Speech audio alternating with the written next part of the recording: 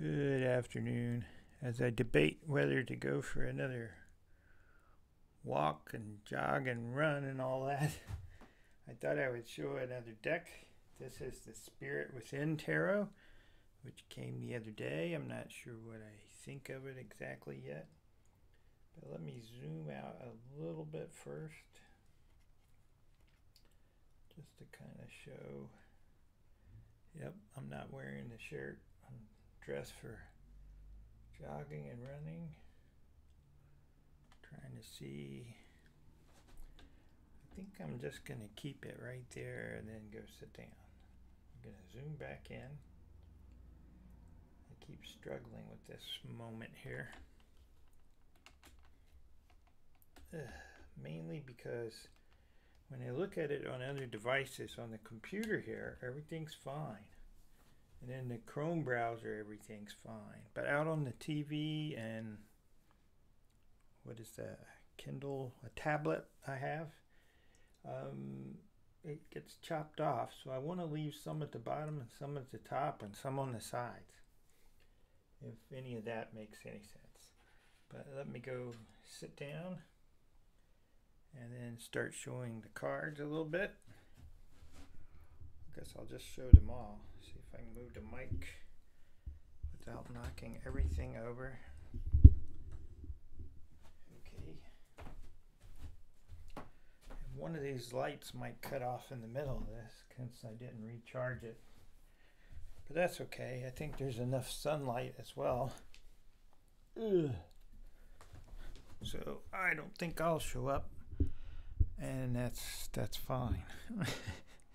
so let me take these away, put them back in the proper place, and we'll get to it. What you're looking at there first is the book that comes with it, which kind of gets right to the heart of it. There's a little bit of introduction, and then it jumps right into each of the cards, and I'll show you. There's a preference and preface, in other words. And then let's see one of the cards, one of the pages. Here's the Fool and the Magician, so you can see how the book's laid out. You do get a color version of the card to look at. so that's pretty good. Let me change the microphone. And it goes on like that all the way to the back, about 197 pages, 96 pages. And there is a kind of, I guess, a unique spread. Not really, but kind of unique spread for this particular deck called the uh, Spirit Cross spread. So there is that. That's a good sign, as many people point out. And here is the box has a little ribbon on the side you can just yoink up and it opens unfortunately it has the selfie in there not a fan of looking at the people but that's okay says red feather I don't know that I've had a deck from wherever that is or whatever that is before uh, printed in China uh, it's Schiffer okay that explains that so there's the, the deck. I mean the box. Did I show it correctly? And then thump it. There, there you go. That seems to be a requirement in these videos. And I'm sticking with this style of video because some people have said that I'm easier to hear. Not that I think that's all that important, but it's easier to see also. First, that's what the backs of the cards look like and you can tell up you can't tell up from down I don't think I can but it would take some effort to remember where that person is if you can see it you can see they're kind of glossy if that's getting picked up see that reflection so they are kind of glossy there's the fool I'm not sure how I feel about the silhouette idea it's an interesting approach. And this, I guess this is kind of popular at the moment. I don't know. It's, I don't really follow the right crowd or people, maybe. I don't know. I'm, I'm a little out of the loop or I don't know the right websites to go to, or I just don't care. I'm not sure. Just find what I find on Amazon, basically.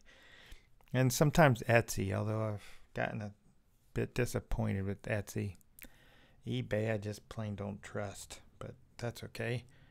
So let's get going. That's the Fool. It's kind of nice, right? It's got the essence of what needs to be there if you're Rider Waite Smith. Here's the Empress. I do like the solid color, but yet with a gradient in it. Like, you know, it varies. Purple dark, purple light.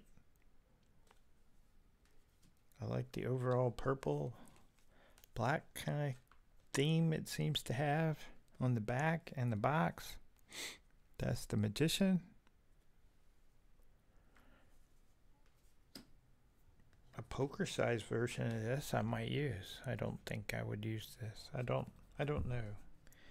That's all I'm doing in 2017 is kind of showing them 2018.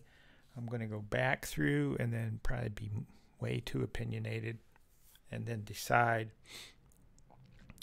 on what I like and keep and all that sort of thing. But that was the Empress. Here's the Emperor.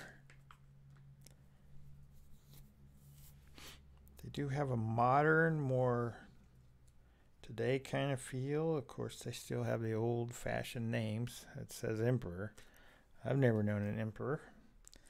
I've never known a Hierophant, but I do get the idea of the archetype symbolism. Doggone hat keeps hitting the microphone. Sorry about that. I turned it around. So that's the Hierophant. It's kind of the name's kind of on there twice. If you notice at the bottom, it flows through there again, kind of blended in with the background. I would have been happy to lose the white one where it says the lovers and kept the other one because then it would be less noticeable. It's pretty obvious they're the lovers to me. And it would be obvious to you if you used it after a while.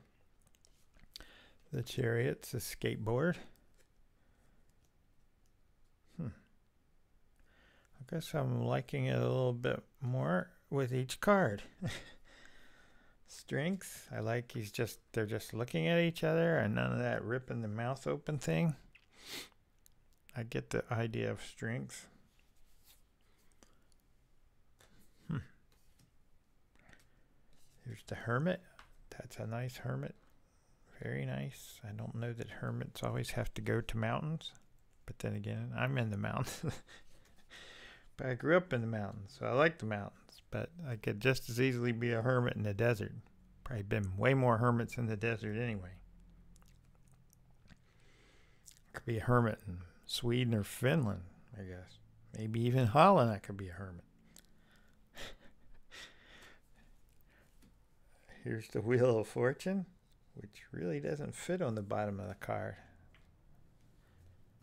That's okay. Guess. Justice would have been.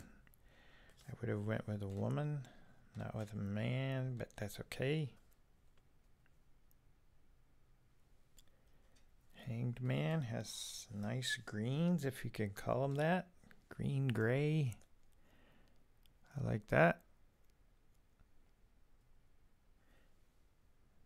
Yeah, that's that's actually a nice death card except for the tombstones. That that just kind of locks it into one particular. Yeah, I'll save the opinions for the future. Because I'll obviously come back to this one. Temperance. I'm not sure I'm getting the DJ Temperance. Maybe. Maybe I kind of get it. I have to think about that one. The devil. Oh my goodness. The baby and the guy with the horns. Hmm. Let me move this in and get that that wax out of the way. There. Oops, that's too close. I don't want to lose the bottom like I keep seeing on the TV.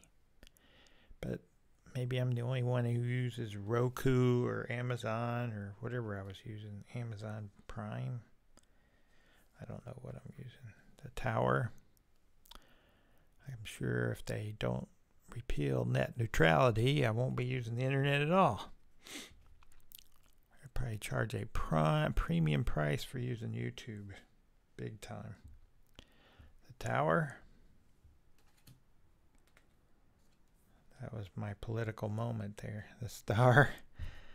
Yeah, I like that combination of colors. A pink, a gray, a light purple, and that bizarre green that the person's using. Huh. Here's the moon. Kind of missing the crab lobster thing there. Bummer. That's I think that's uh, signifying one of those moons you see rarely. I forget what it's called, but it, it like takes up the whole sky practically. I've seen a few of them over the years. The last one I saw was in DC and it was it was huge. It was monster size, almost like we were about to be crushed by the moon. But it had a gold, yellow, orangish kind of color about it. That was cool. I wish I'd have been aware enough to have videoed it, but I just see it as something that'll happen again. Here's the sun card. Looks like Stonehenge in the background there.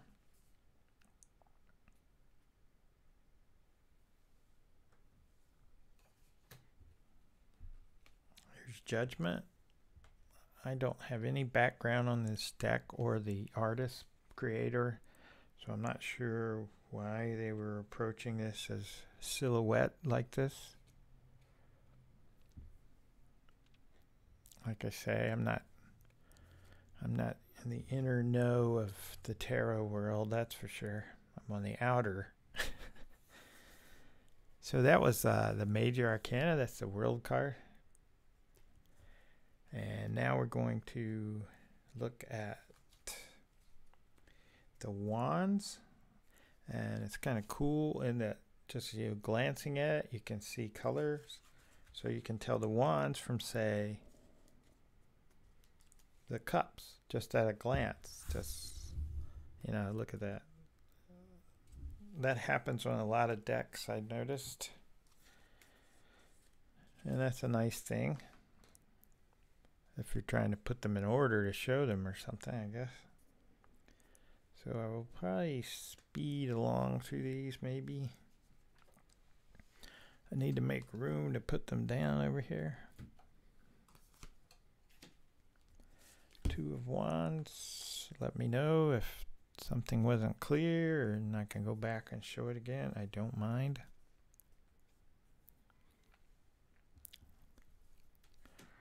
And any other comments or suggestions are also welcome. One of them might be, why don't you shut up and just show the card?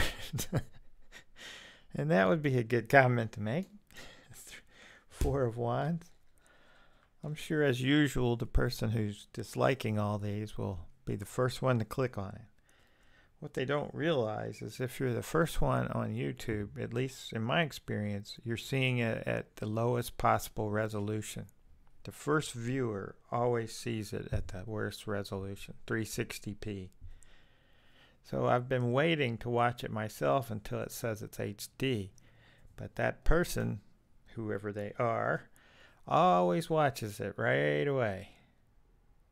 So I guess what I have to do is to keep it unlisted and wait for it to become HD and then make it public. But that means I have to wait another 10 or 15 minutes sometimes. And I'd like to just do it and walk away. Or watch it and then walk away. Or watch it fast forward. which is what I usually do. I'm just making sure the audio works. I'm pretty sure of the video at this point. That was the five of wands. This is the six of wands. I probably don't need to say because that looks pretty clear over there. Like I say, it's far away and my right eye is getting fuzzy, so I can't really see, but I can see the whites clear because of that super bright light that's blinding me. Seven of wands. And as the day goes on, I get more chatty. So I try to do these in the morning to keep back the chatter. Eight of Wands.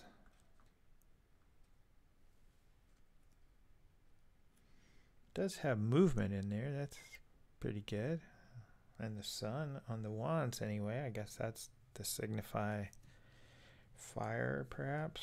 I can't see the background there. I see Hmm. Um, I thought it was the shadow of, of animals, but I think it's just foliage of some sort. That that is the nine of wands. This is the ten of wands. This is the page of wands. Sorry. Still working on how to get these plopped into place immediately. Almost like that cup needs to go forward. Pay is that Knight of Wands.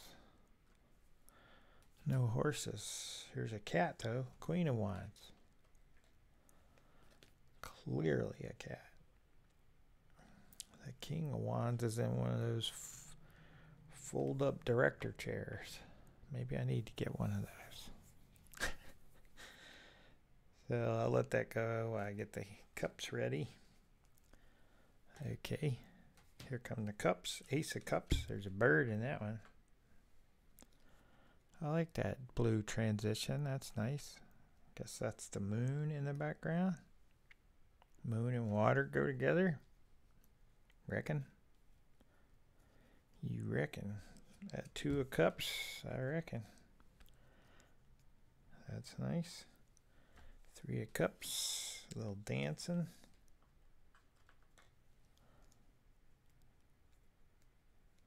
I do like the colors. I gotta say, I probably said that 50 times already. Four of cups.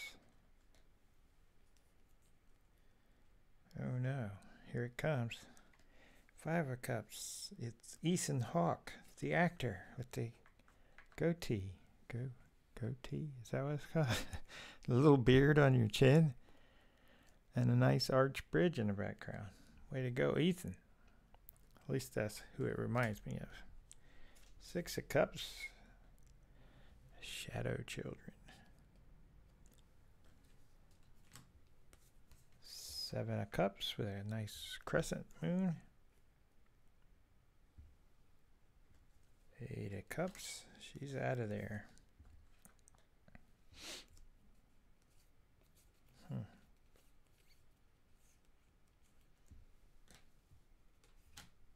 Nine of Cups.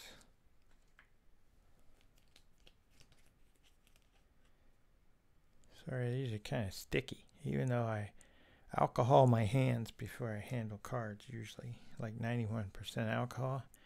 You think it'd be uh, bad for your skin, but I actually think it kind of helps somehow. I don't know. I'm not saying I have nice skin or anything, but they feel clean. They don't always look clean because of painting. That's the Ten of Cups. Here comes the Page of Cups. They got a fish in that one, jumping right out of that cup.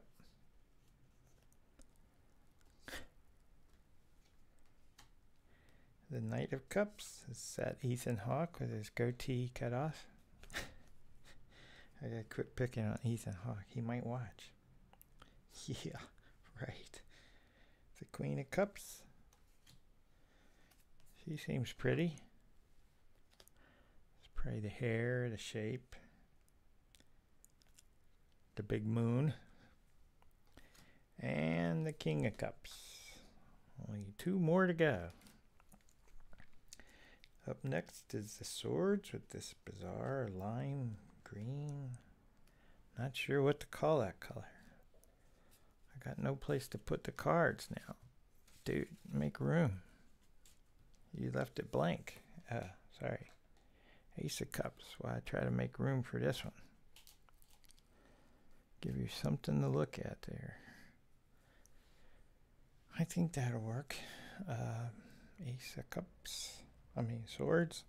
Did I say cups? Two of swords. Sorry if I did. Oh my goodness. Uh, hopefully I haven't hit the button over there. I don't think so. Three of sword, three of cups, three of swords. Gosh, you're having an issue with this one. I know. Four of swords. Is that a sofa instead of the usual? I think it is a sofa. Hmm. Five of swords. Not sure what's going on with that leg, the right leg there. It's a striking pose. Six of swords. Yep. Yeah, I've been in lots of canoes and boats, but I've never actually done that where I push myself along. I've been in a swamp in a canoe, but I was sitting. I didn't stand up. For fear of falling into the swamp, which was just loaded with alligators. They were everywhere. And here comes the Seven of Swords. Wow, that one kind of popped out. Wonder why. Guess because of the sun there. Hmm. That's interesting.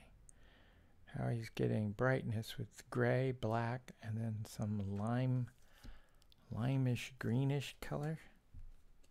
Interesting. Eight of Swords.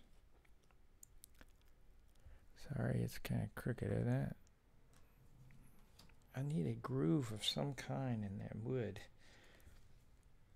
Nine of Swords, but I can't do it. I broke my Dremel. I don't want to buy a whole nother Dremel. I just want to fix that one.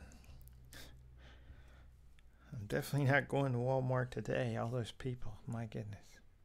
Be too much energy for me to to take on. Ten of Swords, ouch, and double ouch. The rays from the sun make it look even worse, doesn't it? Swords. Wow, his hand got a little gigantic there. I guess that's perspective coming at us. There's a bird in this one. A Knight of Swords up in the air there.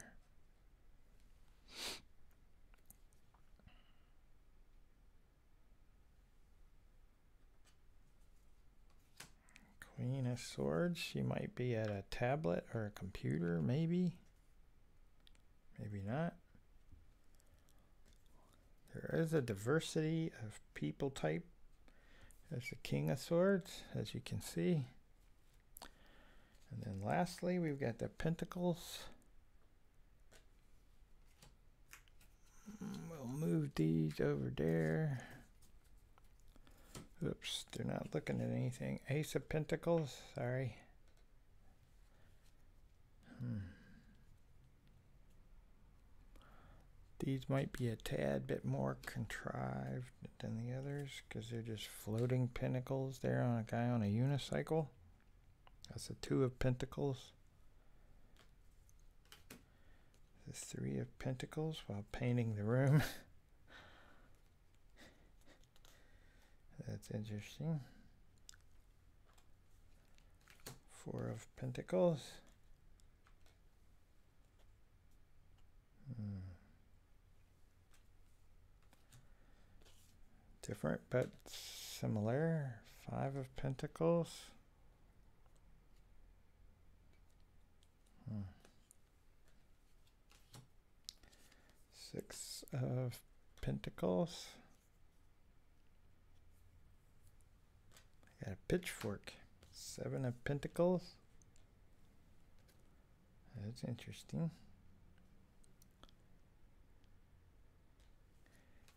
Of Pentacles. I can't see that well enough, but that's a sewing machine. And there's something on the cloth, but I can't see it without glasses. Here's another bird on the Nine of Pentacles. A fancy evening-like dress. Or who is that? Elvira witchy like dress, maybe? She was vampire, not a witch. Maybe she was both. I'm not sure. Ten of Pentacles. I guess that's typical dogs. Lots of people, family like thing. Page of Pentacles. Oops. Now that one kind of popped too. Why is that? That's interesting. How some of them do and some of them don't. I can see by the corners that these won't it won't take much to rough these up. So I guess I won't be able to rough them up, but that's okay. I have other ways to generate random. I don't necessarily have to use the cards in that way. You can tie a card to a number. I'm cool with that. They last longer. Well, these kind poker cards are going to last forever anyway, practically. Queen of Pentacles. And lastly, the King of Pentacles.